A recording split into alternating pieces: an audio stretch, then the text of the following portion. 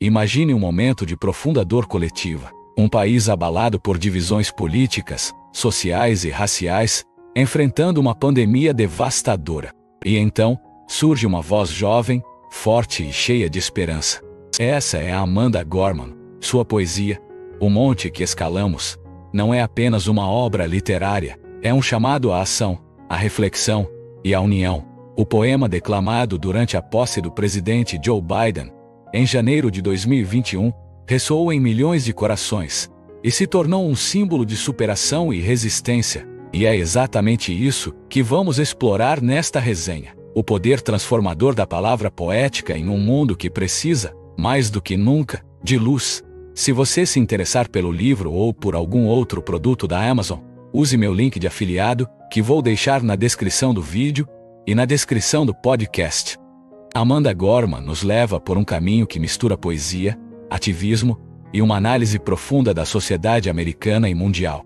Em Um Monte que Escalamos, a poeta mais jovem a declamar em uma cerimônia de posse presidencial transforma um evento político em um marco cultural. O poema começa com uma pergunta fundamental: Onde podemos encontrar a luz nesta escuridão sem fim?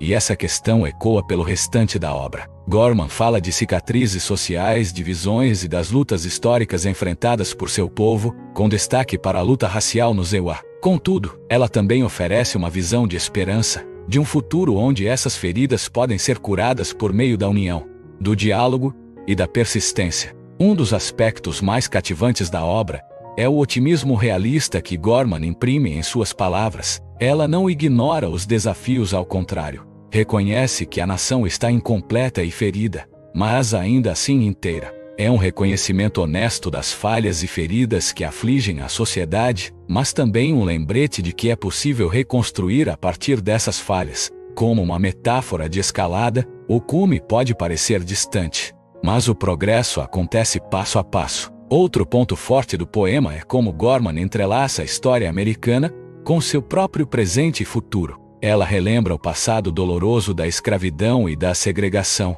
mas aponta para uma nova geração que pode sonhar com uma realidade melhor. Há uma linha impactante em que Gorman, descendente de escravizados, filha de uma mãe solo, fala sobre o sonho de ser presidente dos Estados Unidos, uma imagem poderosa de como a história se reescreve pelas mãos das novas gerações.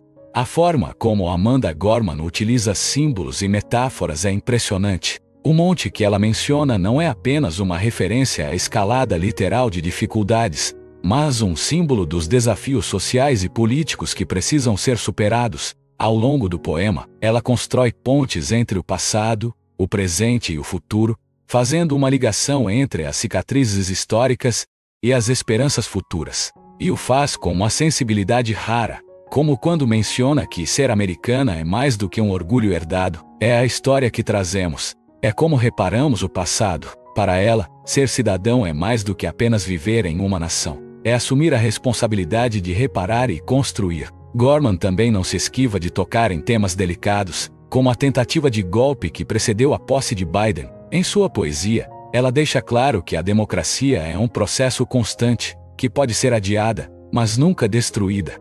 Essa visão é crucial para entender o poder de resiliência e de esperança que perpassa todo o poema. O monte que escalamos é mais do que um poema, é um grito de resistência e esperança. Amanda Gorman, com sua linguagem poderosa e simbólica, não apenas captura o espírito de uma nação ferida, mas também oferece um caminho para a cura. A mensagem de Gorman é universal. Mesmo diante das maiores dificuldades, podemos encontrar luz se tivermos coragem de vê-la e coragem de sê-la.